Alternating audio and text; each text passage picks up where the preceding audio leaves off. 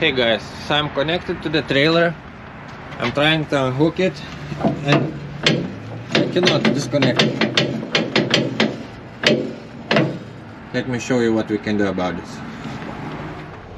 Okay, so start your truck. Release truck emergency brakes.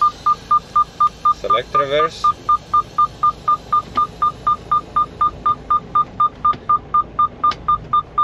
Just move the truck a little bit. Pull on your trail truck brakes. So let's see if it helped.